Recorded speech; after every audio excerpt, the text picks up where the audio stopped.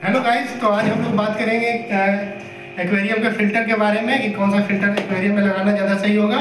तो देखिए फ़िल्टर बहुत तरह का होते हैं एक्वेरियम में।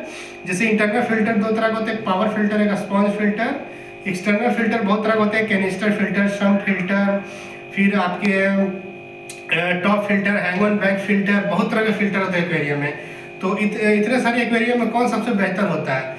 तो देखिए अगर सबसे बेहतर की बात करें तो सम्प फ़िल्टर सबसे बेहतर होता है।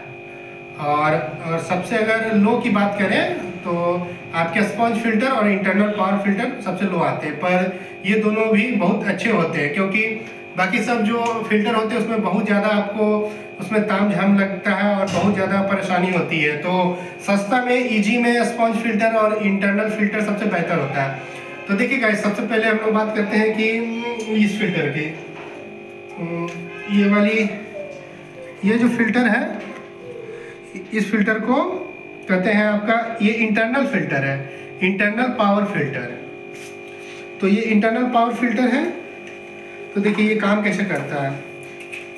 ये वाली जो है, ये है स्पॉन्ज ये स्पॉन्ज है, ये दरअसल कचरे जो पार्टिकल जो सॉलिड पार्टिकल होते हैं, जितने भी, ये सब जाके इस पे फंस जाते हैं तो ये मैकेनिकल का काम करता है। ये ये आपका मैकेनिकल फ़िल्टर और बायोलॉजिकल फ़िल्टर दोनों काम करता है, क्योंकि इसमें क्या होते हैं कि जितने भी बेनिफिशियल बैक्टीरिया होते हैं, जो नाइट्रोसोमोना जो फिशेस जो अमोनिया रिलीज़ करती है तो उसका जो वेस्टेज होता है अमोनिया तो अमोनिया को ब्रेक डाउन कर देता है नाइट्रोस ब्रेक डाउन कर देता है नाइट्रेट्स में, फिर नाइट्राइट्स में, फिर नाइट्रेट में चेंज हो जाता है। तो ये इसमें बेनिफिशियल बैक्टीरिया नाइट्रोसोमोनस मौजूद होता है, जो कि फिशेस के द्वारा छोड़े गए वेस्टेज टॉक्सिस प्रोडक्ट को ये ऑक्सीडाइज कर देता है न्यूट्रलाइज कर देता है। तो ये आपके एक्वेरियम में बहुत अच्छे वर्क करते हैं मैकेनिकल और आपके बायोलॉजिकल पर ये केमिकल पर ये केमिकल फ़िल्टर का काम नहीं करता है। तो केमिकल फिल्ट्रेशन के लिए मैंने अलग से मनी प्लांट लगा दिया है। इसके बारे में एक पूरा कंप्लीट वीडियो किसी दूसरे वीडियो में बात करूँगा कंप्लीट डिटेल तो मैं इस ये आपके हो गए इंटरनल मैकेनिकल फ़िल्टर ये इस तरह से वर्क करते हैं, जैसे ये वाली, ये एक मशीन से मोटर से जुड़े हुए होते हैं। ये वाली, ये दरअसल पूरे हैंग पानी के अंदर रहते हैं और ये गिलास में जाके चिपके हुए रहते हैं। ये वाली तार जाके आपका मेन बोर्ड में जाता है, और ये आपका एयर है। ये दरअसल फ़िल्टर से आपको ऊपर रखना होता है, एयर इसमें इन करता है।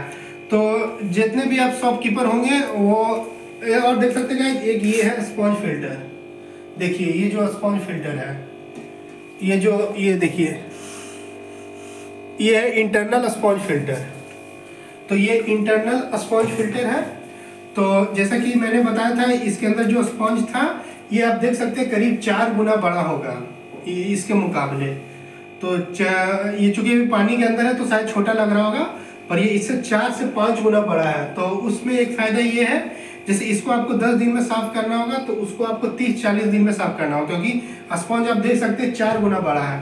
तो आप आप लगभग अगर डेढ़ महीना में, दो महीना में भी अगर स्पॉन्ज साफ़ करेंगे तो कोई परेशानी नहीं होगी। शुरू में नए नए स्पॉन्ज में थोड़ा सा गंदा होने में समय लगता है, फिर फिर महीना महीना में स्पॉन्ज आप साफ़ कर सकते हैं। तो इसमें आपको ज़्यादा समय देना पड़ता है, पर उस स्पॉन्ज फ़िल्टर में ज़्यादा आपको टाइम नहीं लगता है। महीना में एक बार, वो बहुत केयर इजी केयर है। और इसका फ़ायदा ये है कि चूँकि इससे चार गुना साइज़ का बड़ा है तो ये उसमें बहुत ज़्यादा बेनिफिशियल बैक्टीरिया मौजूद होता है, जिसका मैंने बताया था नाइट्रोसोमोनस। तो वो मैकेनिकल इसके मुकाबले उसका मैकेनिकल थोड़ा कम है। और लेकिन बायोलॉजिकल अगर बात करें तो बायोलॉजिकल में वो एक नम, उसको अगर एक नंबर मतलब वो बायोलॉजिकल ज़्यादा अच्छा करता है। आ, अगर आप कोई biological ten out of ten दे सकते हैं और बायोलॉजिकल ये आपको उससे बहुत कम करेंगे। फाइव आउट ऑफ़ टेन आप नंबर दे सकते हैं। तो बायोलॉजिकल फ़िल्टर के लिए वो बेहतर है और मैकेनिकल के लिए ज़्यादा बेहतर है। मैकेनिकल मतलब जो सॉलिड पार्टिकल को ज़्यादा ऑब्जॉर्व करता है वो फ़िल्टर ज़्यादा वो डस्ट को ज़्यादा ये ऑब्जॉर्व करता है, वो उतना नहीं करता। जब आप शॉपकीपर में जाए, जाएँगे तो आपको ये वाली फ़िल्टर प्रोवाइड कराएँगे। आप अगर पूछते हैं कि घर के लिए हम कौन सा एक्वेरियम रखें, कौन सा फ़िल्टर रखें एक्वेरियम में तो ज़्यादातर शॉपकीपर आपको ये देंगे। पर शॉपकीपर हमेशा वो फ़िल्टर रखते हैं। इसके पीछे कारण ये है कि ये पंद्रह वोट का कंजप्शन करता है, और वो वाली फ़िल्टर मात्र तीन वॉट जो बाहर से देख सकते हैं यहाँ से मैंने एक एयर पंप लगाया हुआ है। ये वाली एयर पंप जाके कनेक्ट होता है इसमें। और ये एक मैंने इधर से देखिएगा यहाँ से आके आप देख सकते हैं, देखिए। ये वाली ये वाली तार मैंने यहाँ कनेक्ट कर दिया है। और ये जाके एक तार इसमें कनेक्ट हो गया है। तो उसमें एक अलग से आपको एक लगाना पड़ता है एयर पंप इसमें आपको अलग से एयर पंप लगाने की ज़रूरत नहीं है। तो कुछ प्रोस एंड कॉन्स है दोनों फ़िल्टर के। कुछ उसके बेनिफिट है, कुछ इसके तो जैसे वो, ये मैकेनिकल ज़्यादा अच्छा है, वो मैकेनिकल ज़्यादा अच्छा नहीं बायोलॉजिकल ज़्यादा अच्छा है, ये बायोलॉजिकल उतना बेहतर नहीं है। उसके लिए वो अलग से आपको एयर पंप लगाना पड़ेगा, इसके लिए आपको अलग से एयर पंप नहीं लगाना पड़ेगा। उसमें एक फ़ायदा ये है कि वो जल्दी साफ़ करने की ज़रूरत नहीं। इसमें एक फ़ायदा घाटा ये है कि इसको जल्दी साफ़ करने की ज़रूरत है। तो दोनों के कुछ अपने कॉन्स एंड प्रॉन्स है। और एक जो, वो स्पॉन्ज फ़िल्टर है, जो इंटरनल है, उसके एक बेनिफिट ये है कि जो फिशेस ज़्यादा स्विम नहीं करती है, जैसे जैसे कि मैंने एक्वेरियम में भी जितने तरह, ये जो गुरामी आप देख सकते हैं जी गुरामी, किसी गुरामी, उसके पीछे एक है आपके गोल्ड गुरामी और उसके नीचे में है, इधर से, और जितने भी गुरामी है, वो स्लो मूविंग फ़िश है goldfish slow moving fish है तो जो स्लो मूविंग फ़िश है उसके लिए वो फ़िल्टर बहुत अच्छी होती है स्पॉन्ज फ़िल्टर जैसे आपके bettas fish slow moving fish है गपीज जितने भी सारे फिशेस हो गए, ये स्लो मूविंग फ़िश है। तो उसके लिए स्पॉन्ज फ़िल्टर बहुत अच्छा वर्क करता है, क्योंकि ये फ्लो उतना नहीं मारता है, और ये वाली जो गाइस है, यहाँ से पूरा वाटर फ्लो बहुत तेज़ी से होता है तो जो स्लो मूविंग फ़िश है, उसको तैरने में स्विंग करने में दिक्कत होती है। तो अगर आप ऐसे फिशेस रखते हैं, जो बहुत ही एक्टिव है स्विंग करती है, जैसे ये देख सकते हैं टिनफॉइल बार्ब ये बहुत एक्टिव फ़िश है इस और इस, इसलिए मैंने ये फ़िल्टर रखा था। ये ख़राब हो चुकी है। सिक्स मंथ में ही मेरा ये ख़राब हो चुका था। और तो जितने भी मेरे एक्वेरियम में ज़्यादातर सब फास्ट मूविंग फ़िश है इसलिए मैंने ये वाला फ़िल्टर लगाया था पर ये ख़राब हो गया सिक्स मंथ में। तो ऐसे मैं यही खरीदने वाला था लेकिन मैंने सोचा कि इस बार कुछ नया ट्रायल करते हैं। तो इसी कारण से मैंने स्पॉन्ज फ़िल्टर लिया है। तो अगर आप अपने घर में रखना चाहते हैं तो आप ये वाली फ़िल्टर रख सकते हैं। मैकेनिकल फ़िल्टर ये लगभग मेरा छः महीना में ख़राब हो गया लेकिन ये साल भर चल ही जाता है। और इसका मैकेनिकल अच्छा है बायोलॉजिकल ठीक ठाक है। आ, ये हो गया दो फ़िल्टर गाइस एक आप तीसरे फ़िल्टर रख सकते हैं टॉप फ़िल्टर टॉप फ़िल्टर क्या होते हैं? एक डिब्बा जैसा बना हुआ होता है। अभी मेरे पास अवेलेबल नहीं है। मैं आपको फ़ोटो दिखा दूँगा। जैसे देख सकते इस तरह का एक डब्बा होगा। इस तरह का एक डब्बा बना हुआ होगा प्लास्टिक का। तो चूँकि प्लास्टिक का एक डब्बा बना हुआ होता है ऊपर में, और ऊपर में एक प्लास्टिक का डब्बा बना हुआ होता है। और एक और चीज़ दिखा रहा हूँ।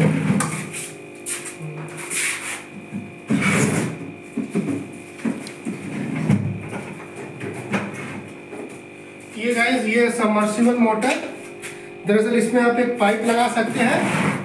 पाइप के थ्रू अंदर का वाटर जो सक होगा पाइप के थ्रू ऊपर से वाटर जाएगा, मैं किसी दिन कनेक्शन करूँगा तो बता दूँगा।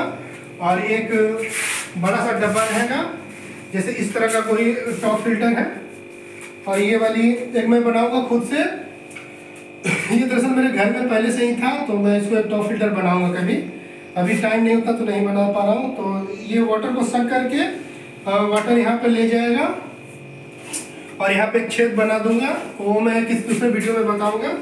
तो इस फ़िल्टर की बात करते ये वर्क कैसे करता है? मैं इसको अपने जगह में रख दे रहा हूँ। और ये वाली। तो ये जो फ़िल्टर है जिस फ़िल्टर की बात कर रहे हैं तो जो टॉप फ़िल्टर होते हैं तो मैंने जो आपको सबमर्सिबल मोटर दिखाया था, उससे वाटर सक होके, उस टॉप फ़िल्टर में आएँगे, आप उसमें एक स्पॉन्ज रखें सबसे नीचे स्पॉन्ज रखें, ऊपर में आप सिरेमिक रिंग रख सकते हैं। फिर आप सिरेमिक रिंग आपका बायोलॉजिकल फ़िल्टर हो गया, जो बेनिफिशियल बैक्टीरिया के लिए हो गया। फिर आप उस पर सेरेमिक रिंग और फिर आप एक्टिवेटेड चारकोल रख सकते हैं। एक्टिवेटेड चारकोल आपके वो केमिकल फिल्ट्रेशन का काम करेगा। वाटर में जो नाइट्रेट है फॉस्फेट है, जो जितने कार्बोनेट है, ये सभी को न्यूट्रलाइज कर देगा। और छः महीना में आपको एक्टिवेटेड चारकोल चेंज करना है। फिर उसके ऊपर एक और स्पॉन्ज रखेंगे, वहाँ से वाटर फ्लो होगा। स्पॉन्ज आपके मैकेनिकल फिल्ट्रेशन का काम कर दिया।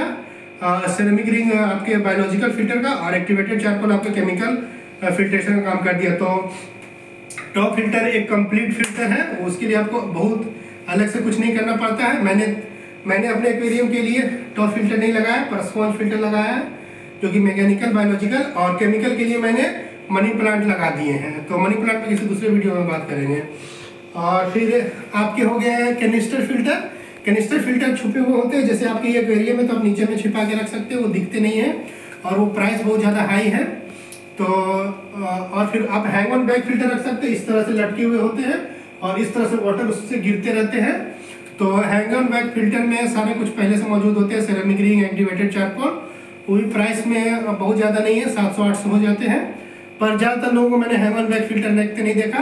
सबसे बेस्ट फ़िल्टर होता है सम फ़िल्टर तो सम फ़िल्टर के लिए पूरा कंप्लीट वीडियो बन जाएगा लगभग 20-25 मिनट का। इसलिए मैं सम फ़िल्टर के बारे में किसी दूसरे वीडियो में बात करूँगा। सम फ़िल्टर मैं थोड़ा बता देता हूँ, जैसे कि अलग से आपको एक एक्वेरियम छोटा सा बनाना होगा और आपको तीन रेख बना देना होगा।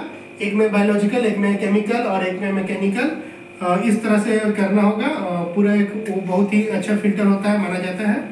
आज के वीडियो में इतना ही गाइस नेक्स्ट वीडियो में मैं टेटर फिशर्स के बारे में बात करूँगा. तब तक के लिए बाय गाइस